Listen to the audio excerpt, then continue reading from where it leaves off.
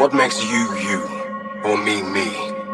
Some say it is the soul, an intangible something that exists before we are born and carries on after death.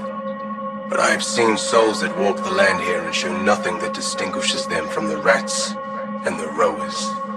It is something else, something no man has discovered.